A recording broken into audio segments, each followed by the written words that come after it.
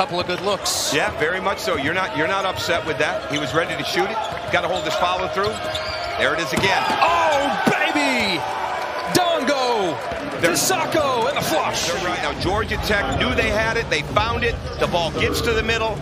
All right, and it gets dropped off to the corner for a man cutting for a layup.